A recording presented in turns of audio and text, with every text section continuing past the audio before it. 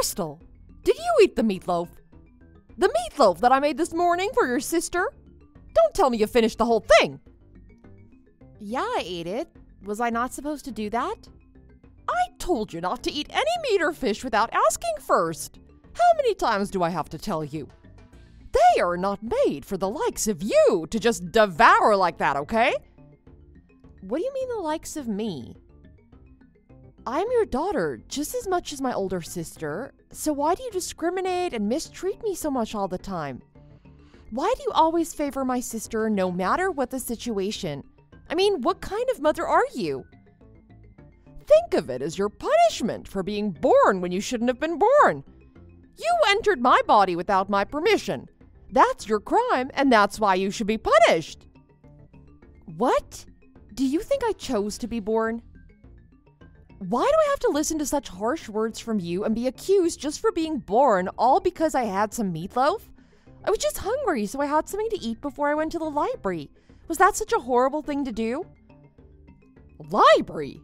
Why would someone like you need to go to the library? What do you mean, why? Someone like me shouldn't even study? Is that what you're saying? I'm so ostracized in my own family and have no one else to rely on. I know better than anyone that studying is my only option if I want to have any chance of creating a decent life for myself. Oh, is that so? What studying are you even talking about? You don't have what it takes. You're not even going to be able to go to college. So wake up from your fantasies and come back home now to do your chores. Why wouldn't I be able to go to college? I'm going to go to university no matter what. Huh! Do you think our family is rich or something? There's no way we can afford to send the both of you to college with the mere salary that your father earns. There is such a thing as an order to this universe, okay? Your sister came first, and you second. So, your sister is going to college, and you'll go to work directly after high school. You can contribute to the household by earning money and also help pay for your sister's tuition. No way. Why should I do that? Because you should be forever grateful that we didn't just throw you away to the orphanage or abandon you on someone else's doorstep. That's why. Even though I never wanted to have you in the first place. Don't you think it's your humanly duty to repay us with gratitude for feeding you and raising you until now? You didn't even breastfeed me because you thought it was too much work and annoying, and now you want me to repay you for what you've done for me? You never even bought a single pencil for me when I was a kid. And yet you bought all the pretty dolls and expensive toys for my sister's birthdays. All my clothes are hand me downs that my sister grew out of. Well, she was always dressed and made up like a princess. I swear I would have believed that you were my stepmother if there wasn't such a resemblance between us. Can you even begin to imagine how hurt and confused I was as a small kid growing up in a house like that? So what? Do you think you're so special? Everyone does that. They wear hand me downs from their older siblings. It's not like we have a money printing machine at home, okay? With what money do you think we can afford to dress the both of you in new clothes in the same way when you two are just one year apart? If you were going to complain so much, then you should just never have been born. Do you think that I had any choice to have you myself? So then why did you have me? Maybe you shouldn't have, after all. Your grandmother was so adamant that this time I'd give birth to a boy, and she threatened to separate your father and I if I didn't have the baby. So I had no choice and had to do it against my will. But it turned out that you were just another girl. And of course, my relationship with your grandparents became a whole lot worse after it turned out to be just a girl, all thanks to you. I've never had a peaceful day in my life before your grandmother. That old crone died, all right? Oh, God, not this story again. You never get tired of the same old story, do you?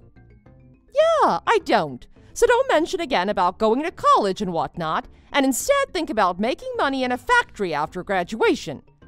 How many times do I have to tell you that that's the whole reason that you're born? No, I refuse to agree with you.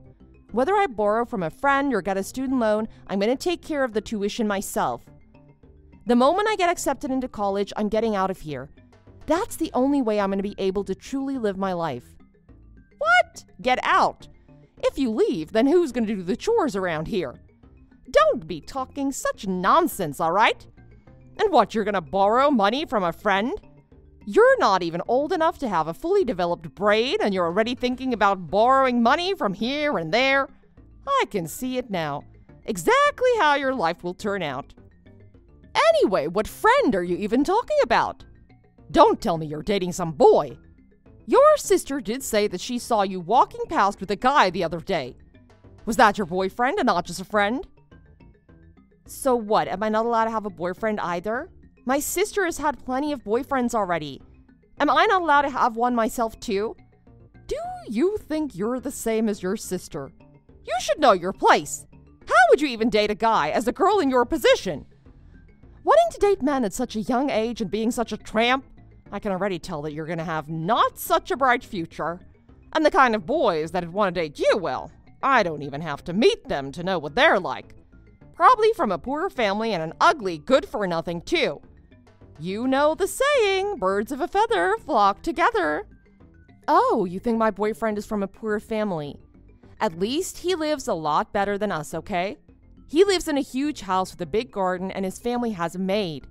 He's from a different kind of world from ours. Well, then, why would such a well to do guy want to date you? If you're going to lie, then at least try to make it a little bit believable. Break it off with that good for nothing boyfriend of yours and go meet a guy that I set you up with. What guy? I told you about him the other night. This man that I know who owns a building and is super rich. If you marry him, then you can live the good life and do whatever you like without wanting for anything. So don't complain and go and meet him at least once. Well, if he's such a catch, then great. You can introduce him to Amelia, who you love so much.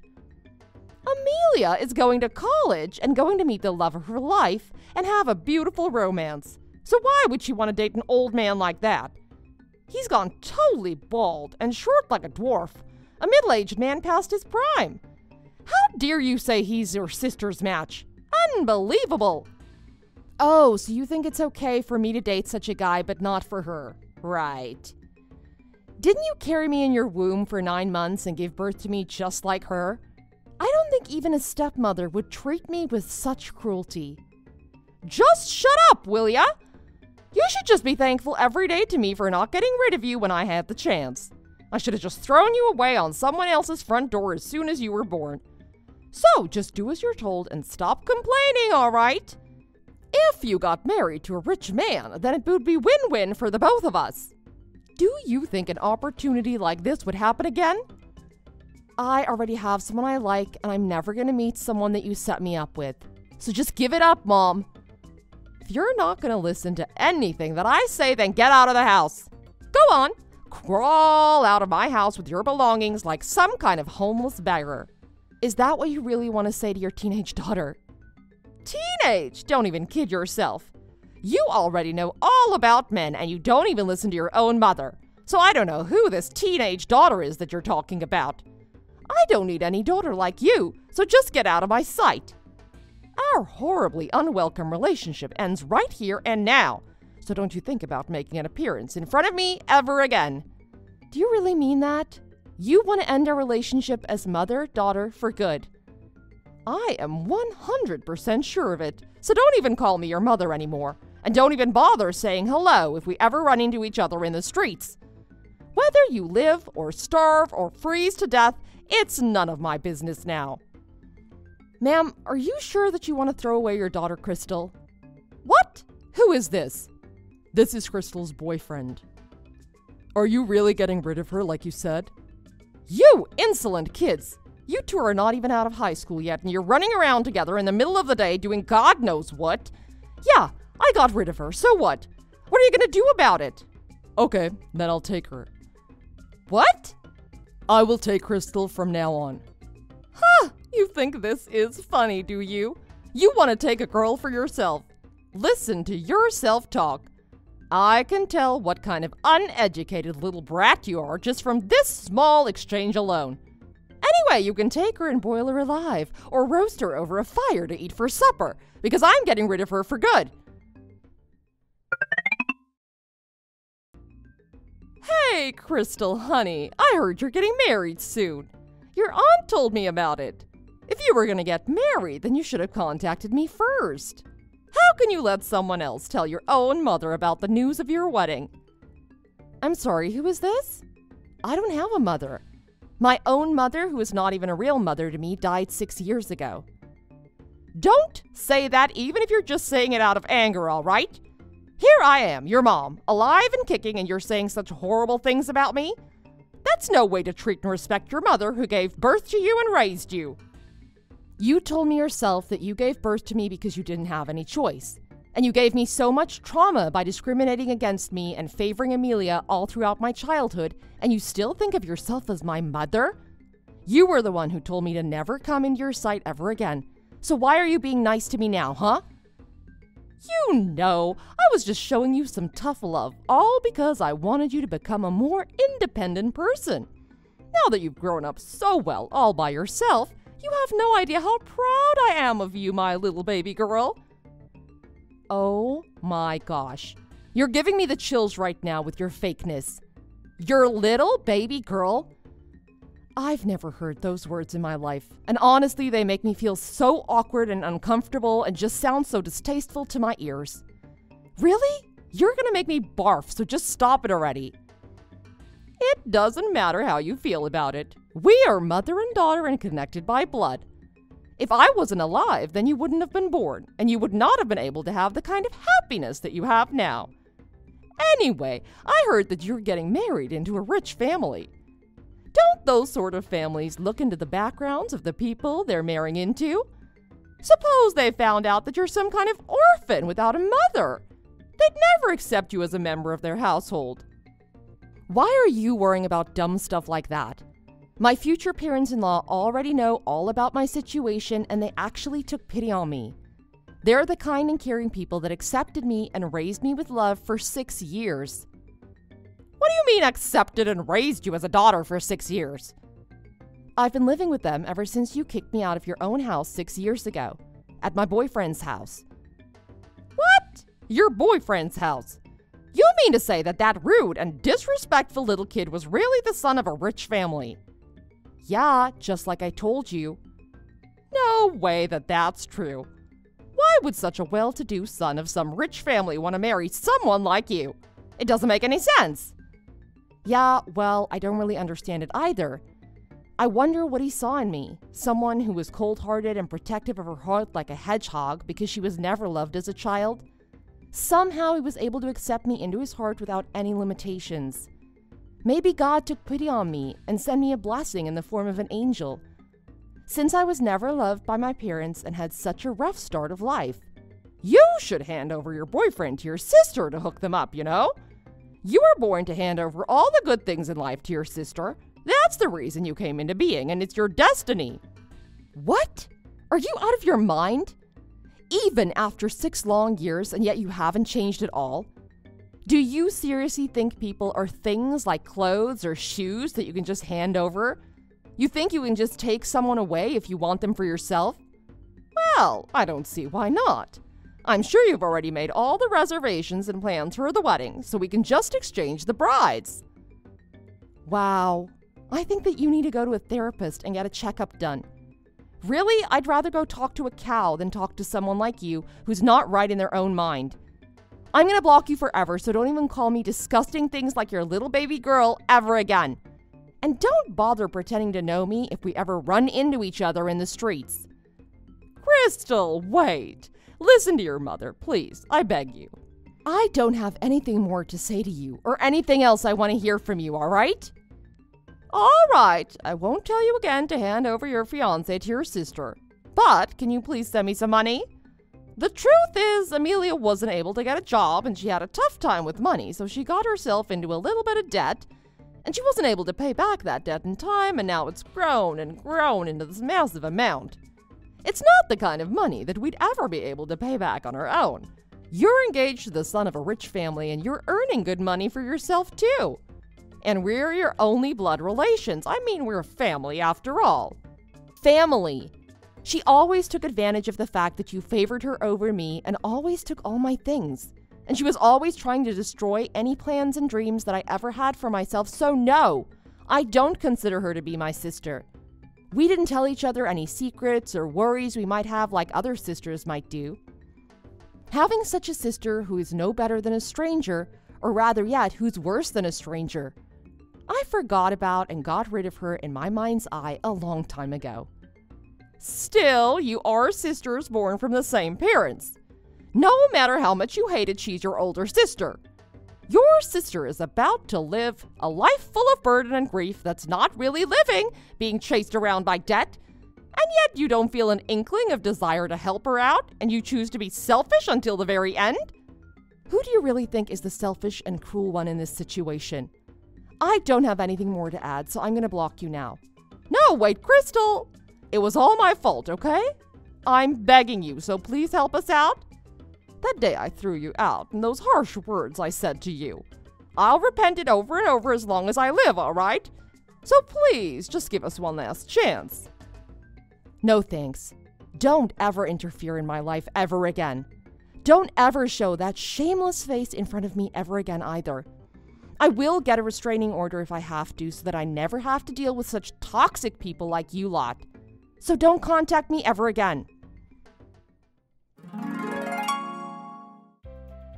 After that day, I blocked my mom and my sister from my life. I don't even know how they're living now, but they're probably living every day feeling as if they're walking on top of a half frozen lake trying to constantly escape from their debt. Well, it's no longer my business how they live their lives.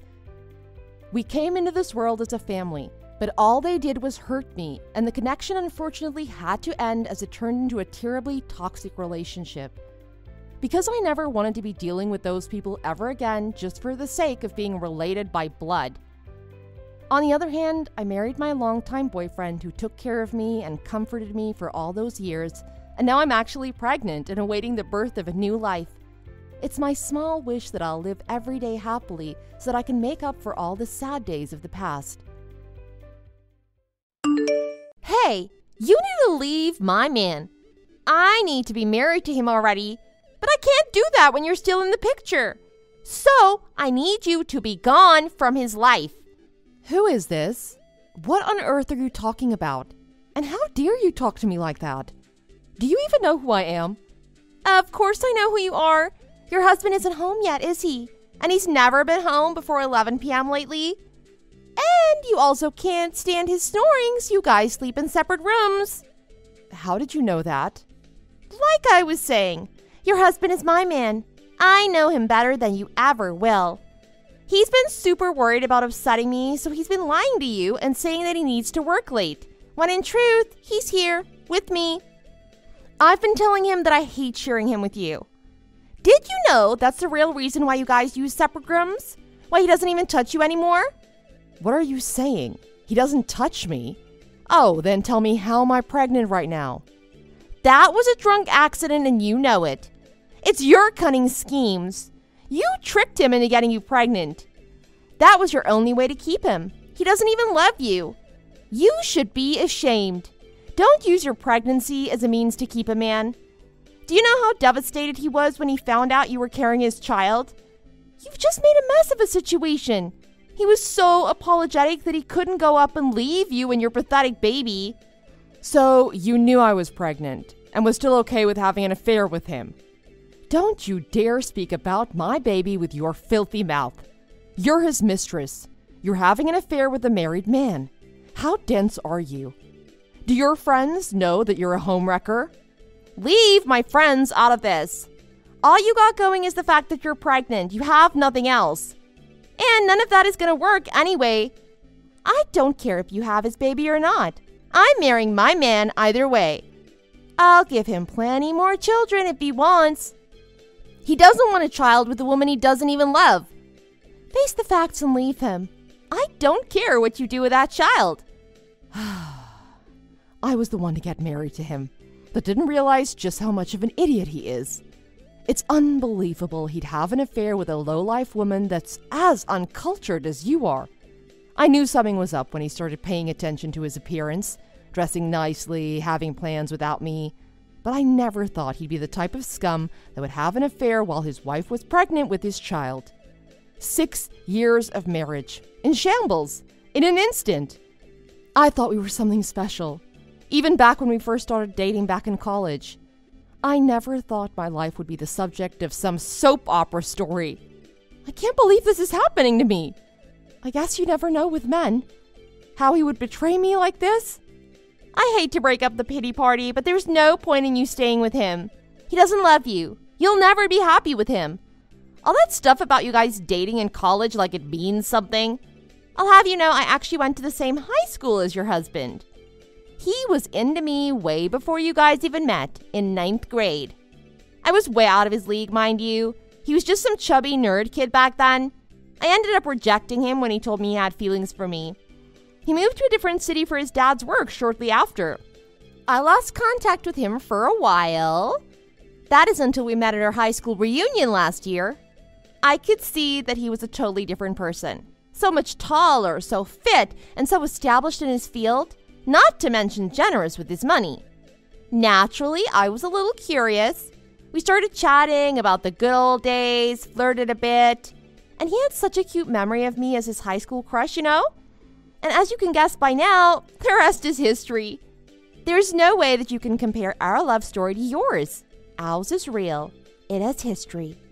I'm the one that got away, the one that he worshipped for so long. And after all these years, he never forgot about me. There's absolutely no questioning who he loves more. You really should have figured that out already. That's a lengthy answer to a question I never asked. So let me get this straight. You want to marry a man who had an affair while his wife is at home pregnant with their child. I don't know what you're even thinking, but once a cheater, always a cheater. There are so many guys you can be with out there, and you choose him? A cheater?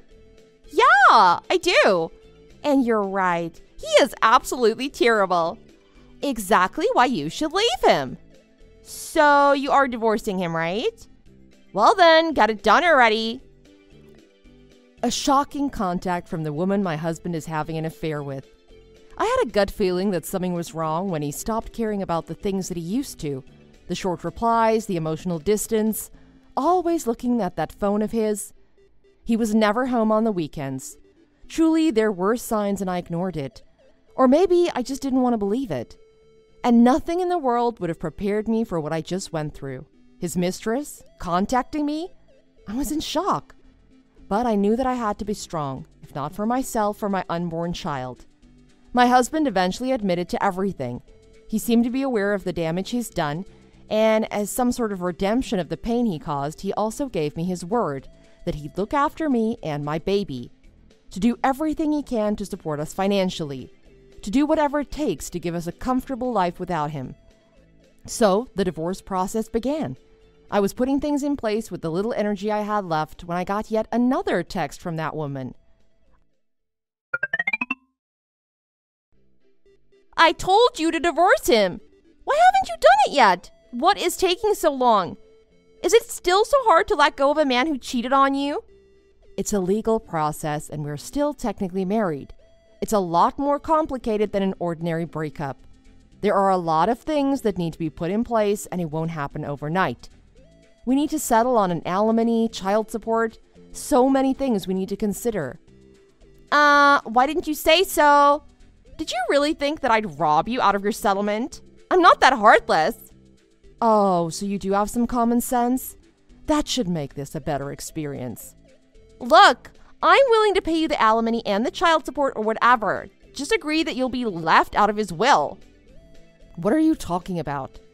I know that his father left him with over a million dollars when he passed. Surely you didn't think any of that money was going to go to you now. Oh, so you were after his money this whole time. Speak for yourself. You're probably not wanting to give that up either.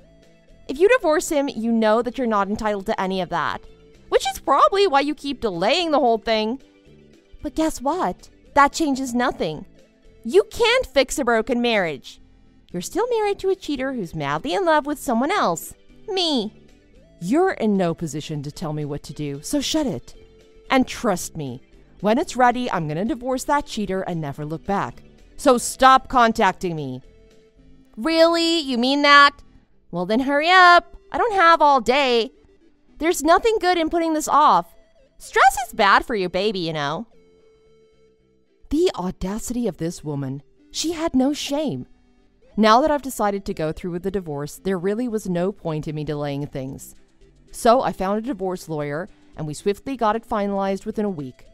I eventually had to move out of her house, the house my father in law gifted us when we got married. Even though I was devastated and spent most of the time crying myself to sleep, I needed to be strong for my unborn child. It was just the two of us now, me and my son. For the next six years, life seemed to go on. Then, all of a sudden, I see a painfully familiar contact pop up. Hey girl, we haven't spoken in a while. Has it really been six years? I still remember taking your man away from you like it was yesterday. Also, you getting kicked out of your own home with your enormous pregnant belly. I'll never forget that. Time travels fast, doesn't it? You must have had it rough as a single mom. Or maybe not so rough since we gave you more than enough money to get by. Why did you contact me? Are you checking to see how miserable I am? To mock me after all these years? Or are you worried that he'll eventually come back to me? Is that why you're checking up on me? What? I heard you were terrified that he'll regret being with you one day, so much that you did everything you could to cut me completely out of his life. Were you really that scared? Where did all that confidence go? Like the time you were telling me that he was madly in love with you? Oh, you don't have to worry about that. That's actually the reason why I contacted you. Also, we won't need to pay you child support anymore. What? He died yesterday. Took a one way trip to the underworld. Are you seriously making jokes right now? Someone you loved passed away and you're not sad? Why would I be sad when I know that he's free from all the burdens of life? I'm pretty sure he'd be sad if I was sad. What a horrible wife I'd be if I made him sad, right? so, what do you want? What do I want? I already told you. I don't have to pay you child support anymore. The house is entirely mine now. And the million dollars his father left is also all mine. Is that why you're so giddy? I'm sorry to break it to you, girl, but he already paid child support up front. Didn't you know this? What? He did what? I never heard anything about that. Oh, so you didn't know. He paid us several visits during the last years of his life, too. I guess you never noticed since you were always out partying. What? He was with you guys? Behind my back? I don't believe it. When he got diagnosed with cancer, he really had it rough. While he was dying, you were out there living your best life. Always going out, leaving the house, always in a mess. You didn't even bother to be there for him during his chemotherapy. From early in the morning till dawn, partying and doing God knows what. The last year of his life was so rough, his body, mind, and soul all deteriorating so fast. And you, his wife, weren't there for any of it. Buying designer goods, going on expensive trips were much more important to you. What? How did you know that? How did I know? Well, he came to me and told me everything. He looked like he was about to collapse at any moment. He kneeled in front of us, apologized, saying how much he regrets everything, and then begged us to find the heart to forgive him for everything. I can't believe this. We both eventually met with a lawyer when he knew he really didn't have much time left. You met with a lawyer? What for? What kind of scheme are you plotting? He left us all of his estate, literally everything he had. He updated his will with a lawyer. He wanted to make sure that we got everything. He said that he finally wanted to make things right before he passed on. Is this true? He went behind my back and did those unspeakable things? I'm his wife. All of that is rightfully mine. Whatever will situation you're making up isn't going to take away what's due to me. You think I'll just let this happen? I'm getting a lawyer and suing you for everything. I will get what's mine. Stop making things up. Did you say wife? What wife are you talking about? You're not his wife. You're still his mistress. Surely you knew this. What nonsense are you talking about? We legally got married six years ago. I signed the certificate with my own hands. You're just spewing garbage because you don't want to give me the money. I don't believe a word you say. If you don't believe me, Go look it up in the marriage registry. He's legally single, and the only next of kin he has is our son. What are you talking about? I signed the certificate when we got married. He told me that he was going to file it himself. How on earth would I not be the next of kin? Oh, so you had no idea. His mother was livid when she found out what happened between us and wouldn't let him file the marriage certificate with a woman he had an affair with. And out of respect, he listened and just didn't file the marriage certificate. Did you really live with him for six years and you didn't know this? That's kind of sad. No way. So I don't get anything. This makes no sense. He can't do this to me. You're the one he divorced. He left you for me. But you're getting all his money? Why wouldn't it make sense? I have a son with him, and not only his estate, I also get the million that his mother will leave us. She drafted a will saying that our son will inherit all of her estate when she eventually passes. Our son is her only grandchild. And she absolutely adores him. It's only natural that she wants my son to have the best life possible. She's constantly giving us money to help support us. She still sees my son every other day. They have such a special bond. No way. I can't believe this. I kicked you out of your home and took everything from you. But you were receiving all that money this whole time? And now you're taking more money? What's supposed to be mine? From me? This can't be happening. I have the right to that money. At least give me half. That's cute. It's not going to happen. Now, get lost forever, homewrecker. You were a piece of human trash when you came into my life six years ago, and not a single thing has changed. That's all you are, and all you'll ever be. How does it feel that your name isn't mentioned once on my husband's will? Now that he's passed away, we definitely wouldn't have any reason to talk to each other. I'm giving you three days to pack your stuff and get the hell out of my house. And if you don't, I'll call the police for trespassing. Now get lost! After that, Stacy was kicked out of the house without a cent to her name.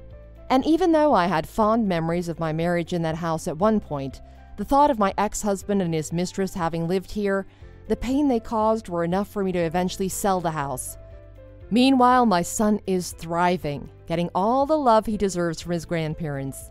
And I too have found a job that brings me fulfillment it's the blossoms of spring, the gentle rain on summer nights, and the softness of the winter snow that sometimes reminds me of the person I used to be.